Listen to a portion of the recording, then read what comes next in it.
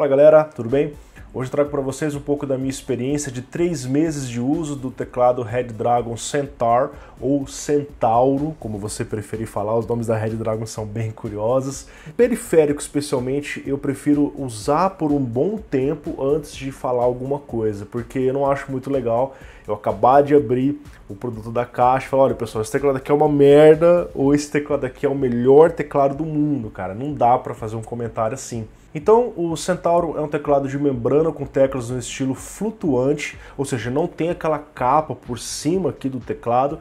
Isso permite que a iluminação ao redor das teclas seja mais intensa, né? Inclusive, você tem alguns efeitos de iluminação possível aqui, FN mais botão menos e botão mais, você regula a velocidade do efeito que estiver acontecendo ou FN mais PJ, PGDAL, você regula a intensidade do brilho. Por padrão ele vai vir com a iluminação no estilo Rainbow, né? em várias áreas do teclado você vai ter um certo conjunto de cores, porém você pode colocar uma cor estática. O padrão de teclas do Centauro é americano, então você não tem que ser cedilha ou algumas teclas em posições que você esteja acostumado no ABNT2, que é aquele teclado padrão brasileiro. Eu acredito que nesse segmento o ABNT2 faz falta. No segmento de teclados mecânicos, talvez nem tanto, mas no segmento de entrada, que atinge a grande massa, eu vejo que as pessoas sentem falta do ABNT2. Então, a Red Dragon tem apostado nisso, alguns dos seus teclados já têm vindo com a ABNT2, por exemplo, o Karura, que eu fiz a revisão dele em janeiro. Esse aqui, por enquanto, está apenas disponível na versão americana. Talvez no futuro próximo isso venha a ocorrer, ok? Uma coisa bem legal do Centauro é a rigidez dele. Esse teclado, quando eu tirei da caixa, eu falei, pô, será que veio um mecânico no lugar de uma membrana? Porque ele pesa mais de um quilo, que é o peso de um teclado mecânico, geralmente, né? E é o dobro do Karura, por exemplo. Então, ele é construído em metal e ABS, extremamente rígido, não é aquele teclado mole que você chega a torcer o teclado, passa uma sensação de durabilidade que, pô, se cair no chão, talvez não, ele não vai sofrer nenhum tipo de dano, né? E ajuda também para fixar na mesa, porque como o teclado é pesado, não é tão fácil você empurrar ele, você na sua jogatina ali ficar deslizando ele, até porque na parte de baixo tem uma quantidade decente de borracha nas laterais e nos pezinhos. Tanto se você deixar o pezinho para cima ou o pezinho para baixo, a borracha faz o contato. Mas o que mais me surpreendeu nesse teclado, sinceramente para vocês, foi o fato de vir com double shot keycaps double shot nesse segmento, nesse preço, foi bem surpreendente. Para quem não sabe, double shot é um método de fabricação que a inscrição da tecla, né, a letra A, B, C, é feita junto com a tecla. Não é uma pintura, não é uma gravação feita a laser. Você deve ter observado em teclados convencionais que conforme você vai digitando, seis meses, um ano, de repente, sei lá, dois anos de uso, as teclas que você mais usa vão apagando, não acontece isso? Porque o suor da mão ali, a gordura, enfim, faz com que isso vai se apagando. Já no double shot isso é bem mais durável, porque não é uma pintura, é a própria tecla. Então, a não ser que você raspe a sua própria tecla e ela vai começar a sumir. Então, isso aqui é bom para um teclado que tem iluminação, que é o caso do Centauro. Então, a iluminação ela vem por cima da tecla e você vê todas as teclas iluminadas, né? E ajuda também na questão da durabilidade, cara. Porém, tem algumas teclas, por exemplo, do F1 ao F12 que tem, elas são double shot, mas ela tem uma inscrição extra gravada a laser. Essa inscrição, você passa o dedo, você sente que tem alguma coisa na tecla, aquilo ali, conforme o passar dos anos, ressalto que em três meses de uso está perfeito, mas a longo prazo isso pode ser diferente, ela pode começar a apagar tá?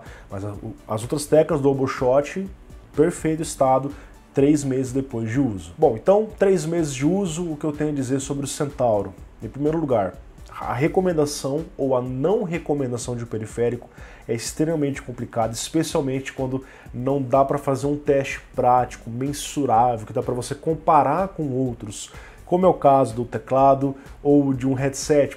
Como é que você vai saber o que eu estou ouvindo?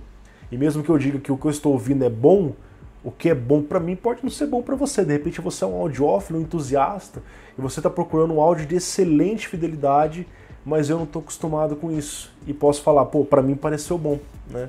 Mouses é mais fácil, você pode olhar ali os testes, os gráficos, desempenho, dá para mensurar. Mas enfim, a Red Dragon hoje, de 100 a 150 reais, tem cinco teclados. Então é bem complicado você achar ali a melhor opção. Quais eu testei? Até agora o Karura.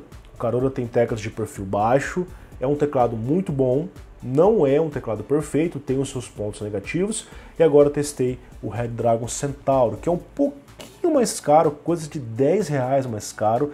E para mim me pareceu um teclado melhor, por conta aí das suas características, dessa rigidez, teclas double shot, é, é, teclas de perfil alto geralmente me chamam mais atenção que teclas de perfil baixo, por conta daqueles probleminhas de emperramento que eu mostrei para vocês. mas aqui nós também temos alguns problemas. Na tecla espaço, é, como é uma tecla grande, é preciso que haja uma estabilização. Se você olhar por baixo da tecla Enter, do Shift, você percebe que tem um, um mecanismo extra para estabilizar a tecla. É, e justamente nesse mecanismo eu notei um, abre aspas, nhec nhec, aquele barulhinho que parece que faltou óleo, né? Então, nos primeiros dias, semanas, estava ok. Conforme eu fui usando, conforme eu aperto a tecla, fica nhec, nhec, nhec. Eu vou mostrar para vocês um vídeo sobre isso.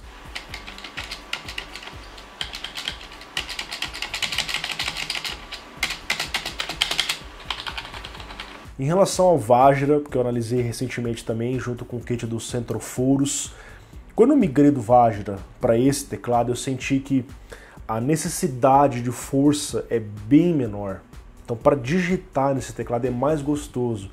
O Vajra, eu até tinha comentado isso no review dele, que as teclas são um pouco duras, mas conforme eu fui usando nos meses, eu fui sentindo mais cansaço para digitar nele, cara. Um teclado que, infelizmente, não é gostoso de digitar, ao contrário desse.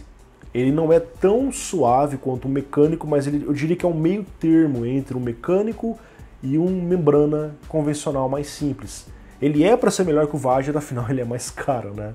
E aqui você vai ter o Centauro custando um pouco a mais, tendo o plus de ter teclas que, que caps em double shot, anti-ghosting, olha só, 26 teclas, tem muitos teclados que se dizem gamer, mas nem tem um anti-ghosting, e quando você vai jogar você sente cara, dá para você perceber que o teclado não é um teclado muito apropriado para games quando você tenta fazer uma certa sequência e não funciona.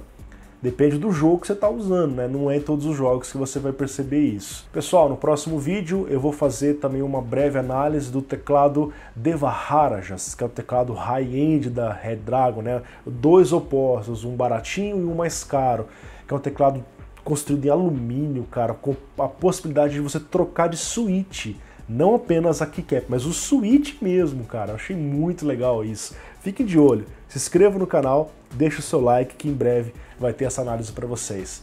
Um grande abraço a todos e até mais.